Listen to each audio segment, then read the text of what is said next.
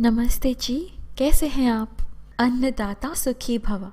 दोस्तों, यह सिर्फ़ एक कहावत नहीं, आशीर्वाद है। माँ लक्ष्मी ने नारद जी से कहा था कि महिला के हाथ में शुक्र बैठे होते हैं। इसलिए ज्योतिष शास्त्र कहता है कि यह उपाय सुबह उठते ही महिलाएँ करे तो घर में होती है कनक वर्षा। क्या है वो उपाय? चींटियाँ।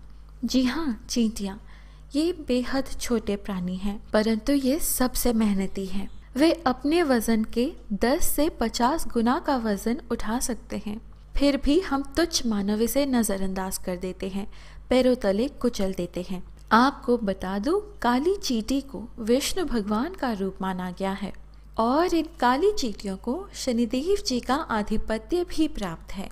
ज्योतिष शास्त्र के मुताबिक चींटियों को विभिन्न चीज़ें खिलाने से देवतागण भी प्रसन्न होते हैं। जैसे कि काली चीटियों को सुबह उठते ही चावल के आटे में थोड़ा सा शक्कर मिलाकर खिलाना चाहिए, यह शुभ माना जाता है।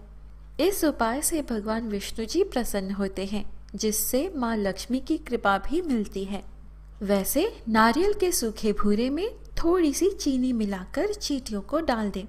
ऐसा करने से अगर आपके घर में नकारात्मक शक्तियों का वास है, जैसे कि घर में हमेशा क्लेश बना रहता है, वो खत्म हो जाएगा और सकारात्मक ऊर्जा प्रवेश करती है। एक और उपाय बताऊँगी। बादाम को पीसकर पाउडर बना ले। उसमें थोड़ी सी चीनी मिला दे और चीटियों को खिला दे।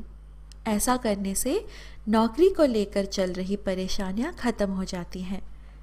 यही नहीं, अगर आपके ऊपर कर्जा है तो वो भी धीरे धीरे ख़त्म हो जाएगा।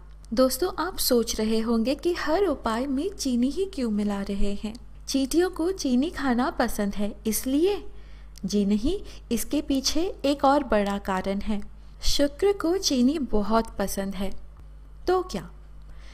ज्योतिष शास्त्र के अनुसार, शुक्र जीवन में भौतिक सुख सुविधाओं का कारक माना गया है। अब मान गए, जीवन में सुख सुविधाएँ हम सब चाहते हैं। और जैसे कि बताया कि माँ लक्ष्मी ने कहा कि हमारे हाथों में, यानी महिलाओं के हाथों में शुक्र निवास करते हैं। इस तरह हमारे हाथों से शुक्र को प्रिय चीज़ चीनी, भगवान विष्णु स्वरूप काली चीटियों को खिलाएँ तो आप समझ सकते हैं सोने पे सुहागा। अब एक और उपाय, भुने हुए आटे में चीनी मिलाकर इसको चीटियों को खिला देना चाहिए। ऐसा करने से अगर साढ़े साती भी चल रही है तो उसका भी प्रभाव कम होता है। तो यह उपाय, मैं भी यह उपाय करती हूँ। वैसे आटे में चीनी मिलाकर छोटी छोटी गोली बनाकर, अगर आपके घर के पास तालाब है तो मछलियों को भी डाल दें। इससे समृद्धि बढ़ती है। चीटियों को आप घर के बाहर खिला सकती हैं, लेकिन छत के ऊपर नहीं। यदि आप बहुत परेशान रहते हैं कि घर में बहुत सारी चीटियाँ आती हैं तो घर के बाहर ही खिलाएँ। हमारे घर में सिर्फ़ हमारे आँगन के तुलसी मैया के पास काली चीटियाँ आ रही हैं तो मैं वहाँ उनके लिए आटा चीनी डाल देती हूँ। यह दान सुबह उठते ही करना चाहिए। सुबह उठते ही आप सबसे पहले अपने दोनों हाथों को देखेंगे, फिर अपने इष्ट देव का नाम लेते पलंग से उठे और ज़मीन को छूकर नमन करें। फिर रसोई घर में यह मिश्रण बना लें। घर के मुख्य द्वार को खोलने से पहले घर के पिछले आँगन के दरवाजे को खोलना चाहिए।